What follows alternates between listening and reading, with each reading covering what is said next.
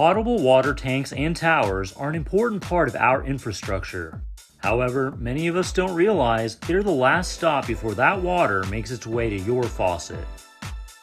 Welcome to Tap Talk, where we discuss what's really going on in your water system. We safely put a diver into a water storage tank. We suck all the sediment out of the bottom of it, we get them nice and clean, and we pull the diver out. That way the tank gets cleaned, but they never had to take it out of service.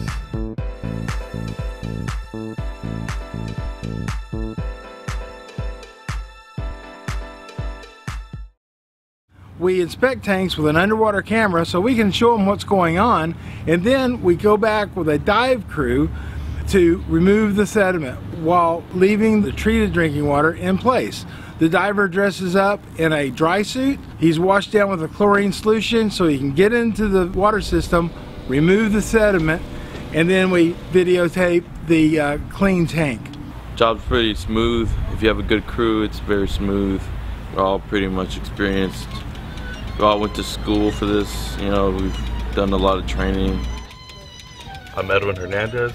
I'm the lead diver here for Ron Perrin Water Technologies. Spent some time offshore right after Ocean Corps, graduated in 2016, and uh, spent like about a year and a half offshore. Then I came here. Uh, Edwin uh, had a uh, fairly typical start. He graduated. He uh, wanted to work offshore, and he gave that a try, and he found out that that offshore life wasn't necessarily for him. Hi, I'm Jeff Brown. I'm the Director of Student Services at the Ocean Corporation a school that teaches commercial diving that has been around since 1969. And we want to talk specifically about one of our graduates, Edwin, who graduated uh, almost two years ago and has experienced a lot of success at Ron Perrin Water Technologies. And my job here at the Ocean Corporation is to help students succeed while they're in school and then to help them start their new career once they get closer to graduating. And that certainly has happened with Edwin. So he had tried that uh, the the offshore in the Gulf of Mexico and uh, found out that uh, water treatments, you know, diving in tanks, you know, just fit his personality better. Usually takes like about like this size of the tank. It takes about oh, how long I was down there for like an hour and 30 minutes. Really easy. It's really not hard work. You just got to know what you're doing. We use commercially certified divers to clean water storage tanks and towers. This is important because water storage tanks and towers pick up sediment over time. And this sediment can harbor bacteria, protozoa, and viruses. The best way to keep that stuff out of there and to keep it from getting a foothold in your water system is to keep your tank clean. Very different from like, obviously it's a whole lot different from being out of the waters, everything's very slow. I mean, everything's very like focused. You have to be focused on everything you do. Very detailed work, and uh, can't really mess up down there. That could be fatal.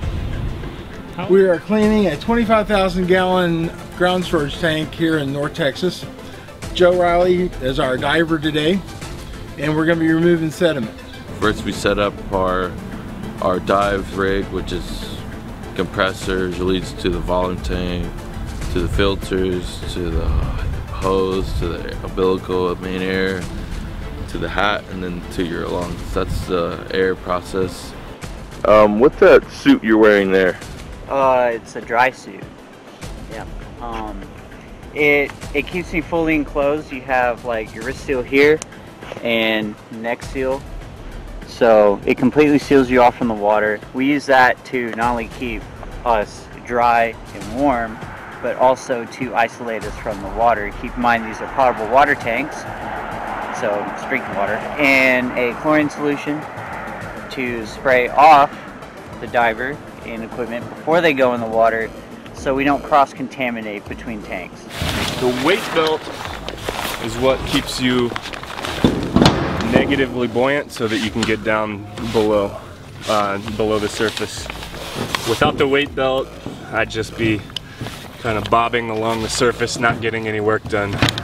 It's Joe. I'm the dive supervisor for Ron Perrin Water Technologies. I went to dive school in Panama City with the United States Marine Corps Combatant Diver Program, and I became a dive supervisor through the Marine Corps as well.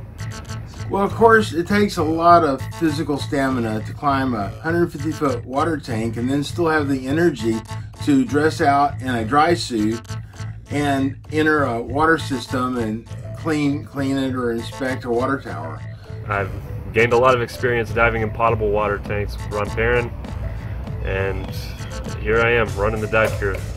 Well, once we get all our equipment set up, we get our pumps up and running, and that's when we go ahead and put the diver in the water. Uh, once the diver's in the water, he's able to use the pumps and the hoses to just pull out all the uh, sediment from the bottom of the tank and any any other kind of garbage or gross stuff that we don't want in our drinking water, we'll get it all out of there. You have somebody watching the rack. The diver is inside the tank, of course. He has a tender. We, we will usually have another ground person just going back and forth, making sure that they have everything they need on the top. So you have somebody top rope, bottom of the rope, inside the tank. Make it hot. So our crew technician just told us to make the suction hot. So our guy down there, making it hot.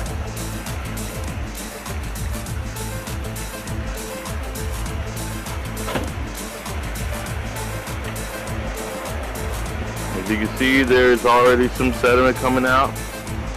Communication is extremely important in this job. Knowing what the diver is doing underwater is the most important thing and making sure he's alright. Joe today is working the rack and he is in the dive station, so he's communicating to the diver, also watching him on video. Roger that, it's on its way. Hey, let's get another section of hose down there. So as you can see, uh, I've got communications with the diver as well as the tenders up top side. Um, that way uh, we can, that diver can let me know everything he needs to get the job done and we can uh, get in contact with the people up top side. Uh, we've also got eyes on the diver's air supply and while monitoring all this stuff we can make sure uh, the diver's not in any kind of danger and he's got everything he needs. And I'll rotate, usually three divers, and then we have Victor, who's our ground man. He keeps the generator and pump and everything gassed up and lubricated. Again, that's our external hose, which is connected to an internal hose that the diver has in his hands. Basically a vacuum that's sucking out all the dirty stuff that's on bottom. Soon it will be clean and good to drink.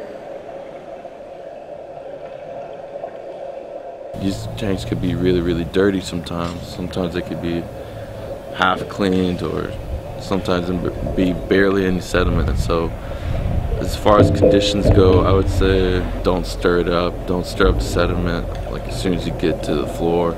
It's really easy to lose your viz and stir up the whole tank, especially on the smaller ones. But yeah, just just don't stir up the sediment in there. It'll be easier. Well, if it's normal sediment, half inch to three inches, we can usually get that done in a day. Every once in a while, you run into one that has feet instead of inches, and that can take a couple of days. Oh, there's more sediment now.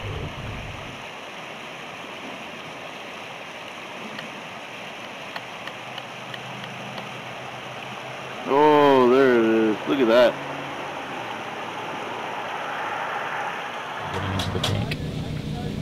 So when we show up on dive site or dive cleaning, uh, the first thing is to do our JSA. Uh, JSA stands for Job Safety Analysis.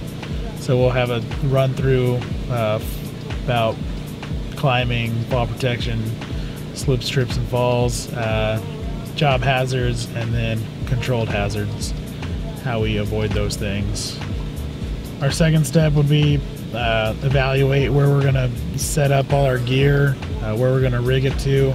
On ground tanks, it's pretty simple for uh, just going up to the hatch area, but with elevateds, we had to put it on the catwalk Everything will be going up there, finding out where the hatch is.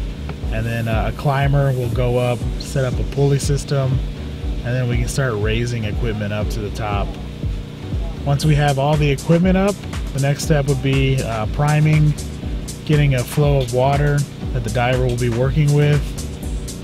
And then once we have that primed, uh, the diver will start suiting up and then he'll enter the tank and the cleaning will begin. Yeah, now to start off, he's going to clear off an area underneath him so when he steps down, he's not stirring up sediment. And then eventually he'll for this. Add this and maybe reach a little further out. And then when he's really ready to get going, he'll add this on the end of it, which gives him a faster, cleaner, um, to be more efficient with the cleaning and also do a better job. We were able to see it on video, the before and after. We had some silt on the bottom, it just like it was very clean after. So I feel a lot better about knowing exactly what we've got in our tank now. We usually uh, set up for about an hour or two depending on the size of the tank. This is a small one so it didn't take too long. Um, and then, you know, the diving itself, the actual cleaning process can be anywhere from 30 minutes to, you know, three hours, six hours, sometimes multiple days, just depending on how long the tank, uh, how long it takes to get all that stuff out of there. And how big the tank is. We do them anywhere from 25,000 to 25 million.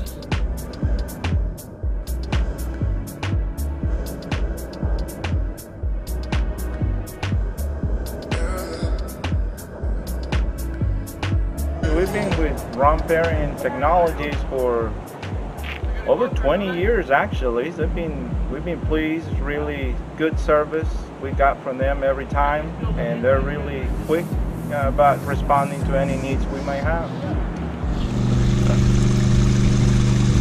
It's important to clean your tanks so they won't look like this. All this black stuff is what's in your water.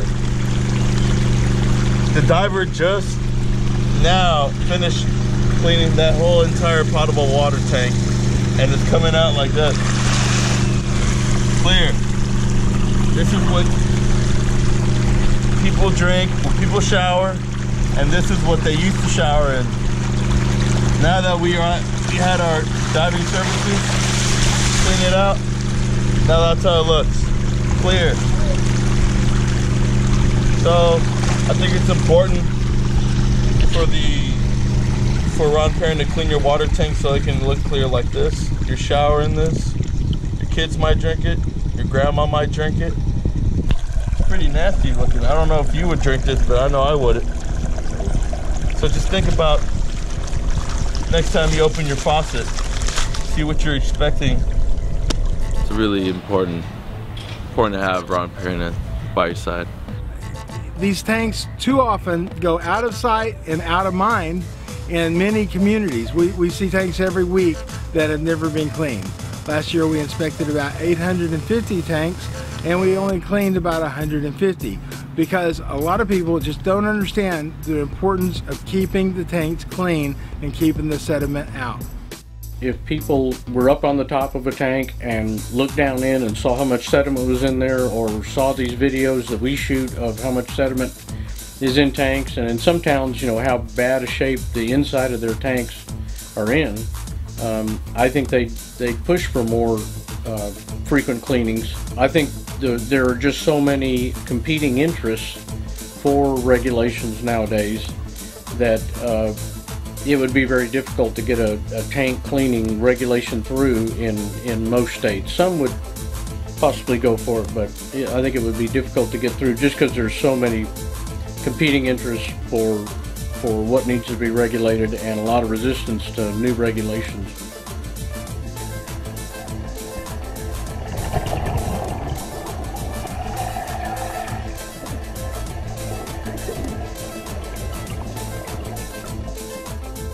Being approached by this whole project maybe uh, realized that we don't really think about the water towers You know, and with the recent papers coming out with the EPA, obviously more people are starting to uh, become more concerned about it. And I think that's a good thing. I think the more uh, safety we have, especially with all the outbreaks that happen all the time, a lot of times we don't know where they come from, sometimes we do. Um, but the more we know about it, the safer we can be, and I think that's a good thing. What we've learned is we're fighting a war in the water storage tank. Chlorine is keeping all this stuff at bay. But when it gets too big or the chlorine gets too weak, we're losing the war. When we lose the war in the water tank, people get sick. Sometimes people die. Let's get rid of the sediment in the water storage tanks and fight the war back at the water treatment plant where we're treating the water. We understand the war there. We can completely win by removing the sediment in the water storage tanks.